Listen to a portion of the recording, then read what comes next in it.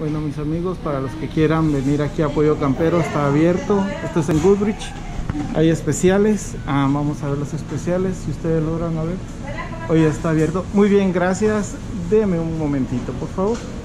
Están los especiales de, de lo que es la comida aquí en Pollo Campero. Prácticamente solo es para llevar. Si se dan cuenta, estas mesas están están cerradas prácticamente la comida solo es para llevar así es que mis amigos los invito a que vengan a comprar aquí a Goodrich para llevar pollo camperito. Muy sabroso suave y crujiente dicen en Guatemala así es que un saludo para ustedes